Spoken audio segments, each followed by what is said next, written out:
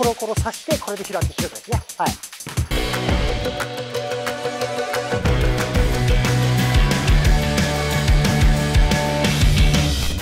はい、えーこんにちは中川です、えー今回はですね、えーコーディネーションシュート。シュートの前段である動作をして今日はですねレイアップを決めていくっていうこのドリルですね、えーこれをご紹介していきます、えーぜひですねチャレンジしてほしいと思うんですが、えー何をするかというとですねまずレイアップってこのようにこう両手で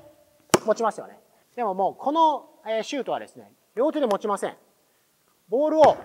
肩の後ろ、えここで持って、左手にコロコロって落として、それで左手でシュートを打つっていうですね、えかなりあの難しいシュートなんですが、これをレイアップの1、2ステップの中で、え複合的に組み合わせて、シュートまで持っていきます。えそれでは一応ライブでお見せしたいと思います。えこのようにいきます。コロコロ刺して、これで拾ってシュートですね。はい。今の形です。難しいんですが、これを1、2ステップの中で組み合わせてできたらすごいですね。まあ、アトラクションのような形にはなりますが、えーぜひですね、えートライしてほしいと思います。えーもう一度お見せします。やります。コロコロして、最後、開いてシュートですね。はい。